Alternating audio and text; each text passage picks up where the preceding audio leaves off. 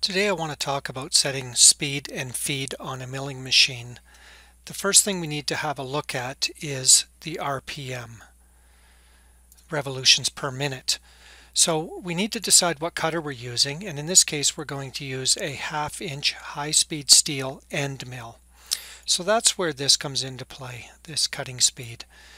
And what we'll do is we'll look up in the machinery handbook and I'm in the 28th edition and I'm looking on page 998 and we're going to assume that we're cutting mild steel with it. So it gives me a cutting speed of 100 surface feet per minute.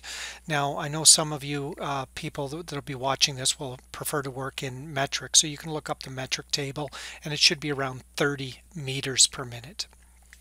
So we'll plug it in this formula, so cutting speed times 12 divided by pi times diameter. So again, we're going to use 100 surface feet per minute, and we're going to multiply that by 12, and we're going to divide that by pi, which is approximately 3.14, times the diameter of the end mill. In this case, it will be half inch. So if you plug those into your calculator, you should get an RPM of 764. And that would be the maximum RPM for this half inch cutter. Again, assuming that we're using a high-speed steel cutter and we're cutting mild steel with it. Now that we have the RPM calculated, we can have a look at the feed rate to set the milling machine to.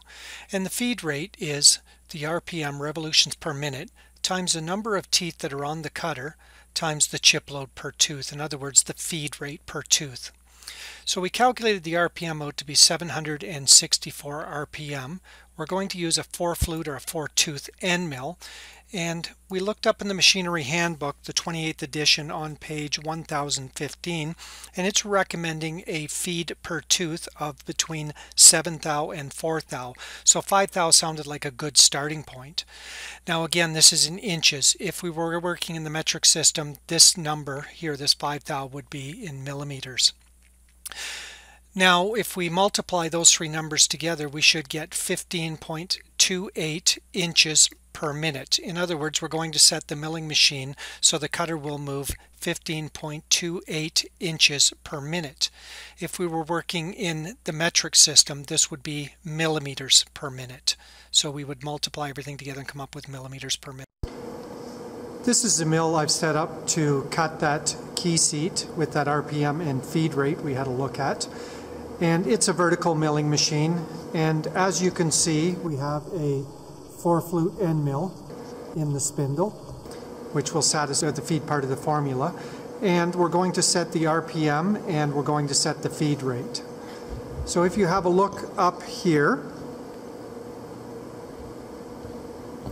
we're actually going to set the high range on the milling machine and then what we'll do is we will set the speed here.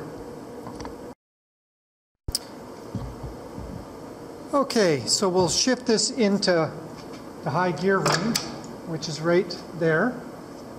And we'll go over to the control panel and set the RPM.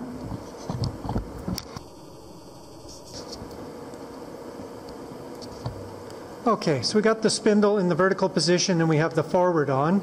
And we're just going to turn the spindle on. And if we look up here, we have our RPM. And this one here we can actually adjust the RPM. So that's somewhere, I'm looking on the outside arc, that's somewhere around about 760 RPM, which is what we need. 764 RPM for this job here.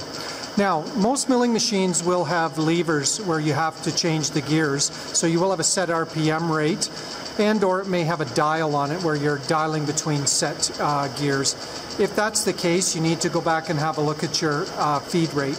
Remember RPM times number teeth times the chip load per tooth. So you may need to recalculate that RPM. We set the feed rate and that's what this box is here. So if we have a look up at the top here, you can see that for red we have our longitudinal feeds. And if I come down to this chart here, I would like to have 15.28 inches per minute. The closest that I have without exceeding it is 12.58. So I need the lever on the side of this particular machine to be all the way in the down position, which it is. That gives me this row here. And then if I look at the column here, the one on this side, I want to be in the second position. That's where we are. So we should be doing 12.58 inches per minute. Again, we could go up to 15, but I don't have that option on this machine. So we set it at 12 point, or 12 uh, and 5 eighths of an inch per minute. Okay, now that speed and feed has been set, we're ready to cut this slot. And I'm just going to put a mark on the table and then down onto the saddle so we can actually check the distance that the tool has traveled. We'll put a little bit of coolant on and we'll start that spindle turning and we will come up and touch the part. And I'm not going to take a real deep depth of cut, but about 60 thou just for demonstration purposes. Maximum depth of cut will be half the diameter of the end mill. So because this is a half inch end mill, I literally could go 250 thou per pass. Make sure you're using lots of coolant. And also too, if it looks like the cutter is getting hot, you might want to slow the RPM down just a little. Okay, so we're ready to go. Now what we'll do is we'll start this timer and get that feed going.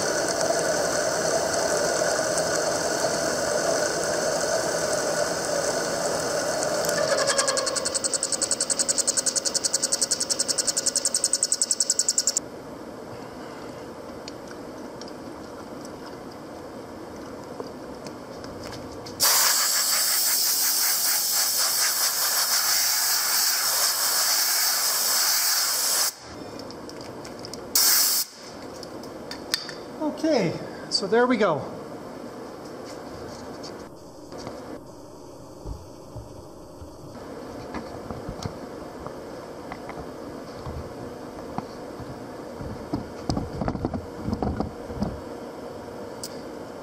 So we put a tape measure on it. We should be somewhere fairly close to 12 and 5 eighths. If anything, I might have turned it off just a little quick, but we're very close to that. And we'll come back and check the table so you can see that.